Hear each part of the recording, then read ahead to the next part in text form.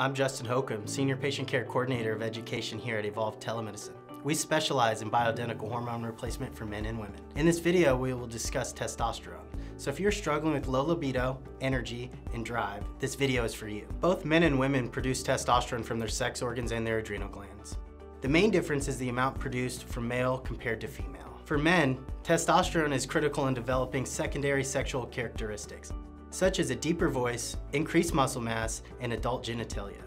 In women, this hormone plays an essential function in ovarian health, bone development, and libido. What causes low testosterone? For men, the normal aging process lowers testosterone production. As people age, both sexes experience a decrease in all hormones, including testosterone. Simply because we are getting older does not mean our bodies naturally reduce the concentration of essential hormones.